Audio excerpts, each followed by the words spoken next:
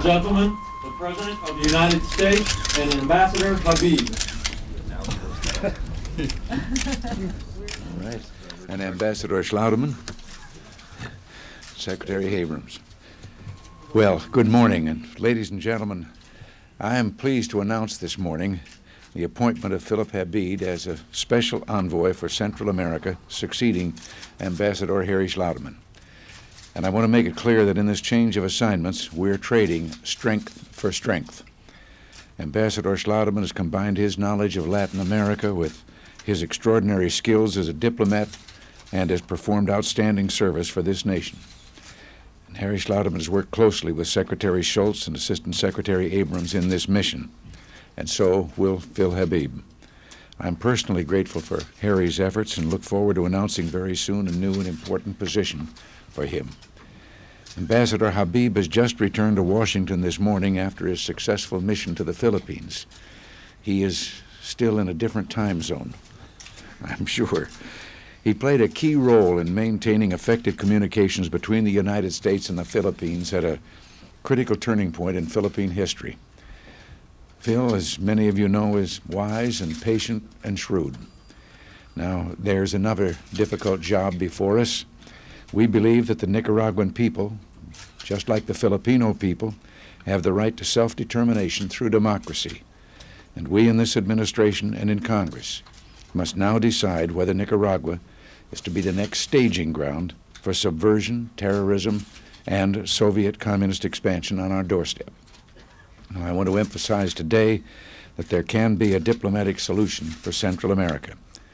It is the solution that will come when the Nicaraguan communists finally agree to sit down and talk with their opposition, both armed and unarmed, to bring an end to the strife and the repression in their country.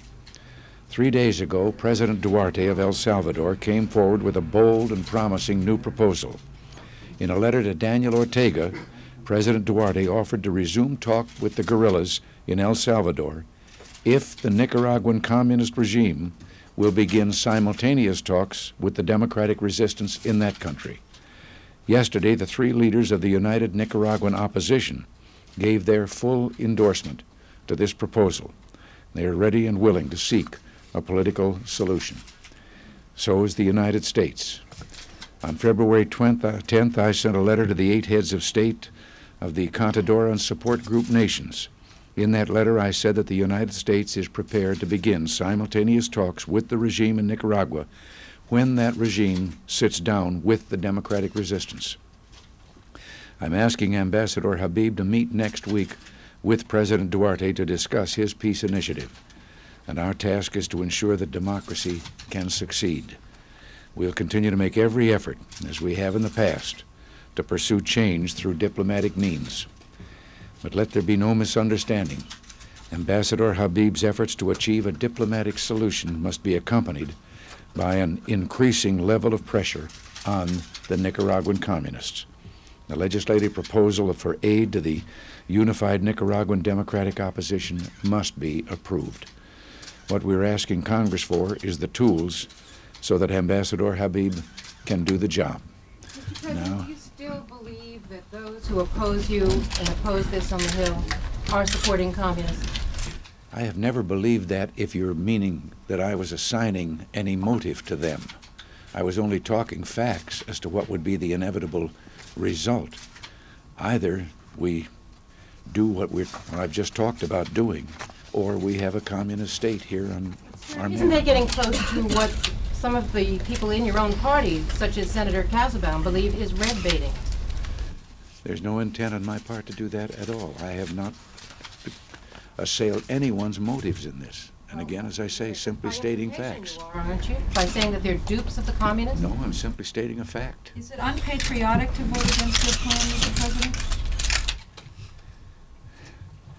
No, once again, you ask a, a question that uh, uh, I'm sure the answer could be taken any way that the questioners want to take it. But the simple answer is, as I say, we're faced with a choice. We're either going to keep on bringing along the wave of democracy that has been sweeping over Latin America, or we're going to sit back and allow a communist base to be established here on the mainland. Mr. President, would you uh, uh, go along with uh, Marcos' efforts to become an American citizen? Would you aid and abet him in that respect? Do You think he should be? I hadn't heard anything uh, about that. I didn't know that there was any thought on his part and that, so I haven't had any time to think about it. But I'm How going about to, all the money I want you to brought meet out? Ambassador Habib. How about all the money he brought out of the Philippines? Were we aware of that? Uh, No, what? I can talk about that later. It's a very simple question. I'm going to leave that to Ambassador Habib. Thank you, Mr. President. I returned to Washington just this morning, and I have given the President my report on the current situation in the Philippines. I'm honored that the President has asked me to take this new assignment. I have no substantial statement on Central America at this time, except to note that the President and the Secretary of State have emphasized to me their commitment to seeking a negotiated settlement in Nicaragua and elsewhere in Central America. They've asked me to meet with President Duarte to discuss his peace initiative. I have no illusions about the complexity of the issues in Central America and the difficulties in reaching a negotiated solution. Nevertheless, I pledge my efforts to work with our democratic friends and neighbors in the region toward a peaceful and democratic outcome. Thank you, Mr. President. Thank you very much. Thank you. I think he, I think he's going to leave me to That's right. That's Yeah. your, that's my reward to you. I'm leaving you here with these nice people. They, they want something from you, yeah. Mr. President, you there's a embarrassed proposal to put some of the money in escrow rather than, uh, Uh, why don't you to put let it me out the directly. Philippines Mr. part? President, would you go along with a plan to put the contra aid money into escrow for six months, and then if they didn't come to the negotiating table, release it? Hmm. No, I think six months is too long a time with what we're facing down there. But is compromise possible, Mr. President? I think so, yes. On, on your legislation? What? On the package? Compromise on the package? Oh, no, I was talking about compromise between the uh, Contras and the Sandinista government. But compromise on the six-month period that you uh, said is too long. It is too long. The time is now. are you shocked by 7.3% unemployment?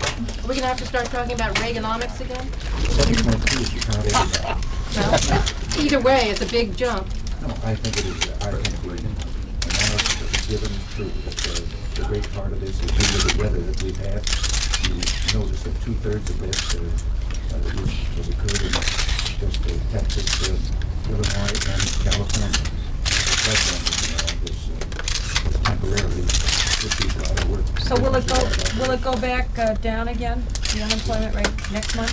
Well, I don't know whether next month, will- you know, that's all that can be done. Down to all the way from the north, all overnight. Mr. Ambassador? When you go back to the Middle East? We got a short, I've got a shorter trip and within fairly limited time zones this time, which is going to be an improvement over the last trip. Mr. Ambassador,